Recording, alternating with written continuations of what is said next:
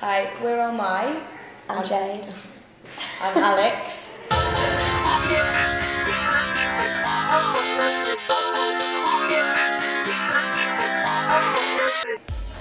So me and Alex went to like a dance school, singing school in Leeds, and we met there about four years ago.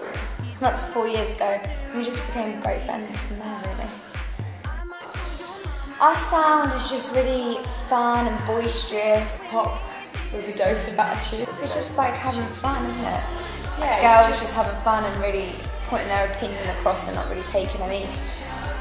Definitely that. We like all our songs to have like a meaning to it. Like we want it to be relatable for like people out there thinking, oh yeah, I love that in that song because they've relatable. experienced that or like so everything's got something like like substance. It means something.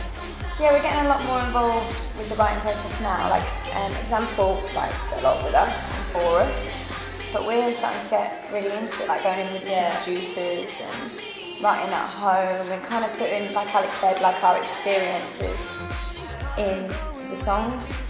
And also it's like learning something from each writer that we work with. Working with examples, know, when we, you know, when we get asked this question every time, we just start laughing. That's the only way you can really describe a working process with him. Is just a funny, funny character. So many strong women at the minute. Rihanna, Jessie J, Beyonce, Adele.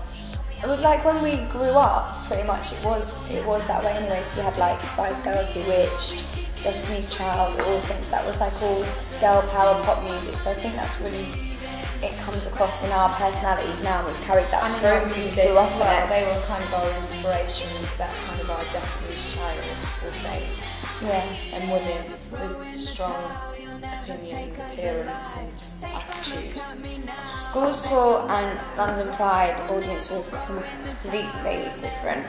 It's so funny with kids because they they do not hold back for one minute. If they don't if they don't really like it or if it's too loud for them, they'll sit there with their hands over their head, like ears and screwed up faces, or But they the just ones- sit there like that. The ones that do like it are like, like Yeah. dancing along and we're like, ooh. But it, um, London Pride was amazing. Like we started shouting jump, and everyone started jumping, and I think our, what the music we actually play in our club night, considering it's in Shoreditch, is probably a lot more pop. It's like all these cool, super cool places around London, and then there's Club Oh My, Electricity Showroom. our music's quite different from Shoreditch crowd, but We do make it a lot more poppy, but I think secretly everyone loves a bit of pop. Yeah,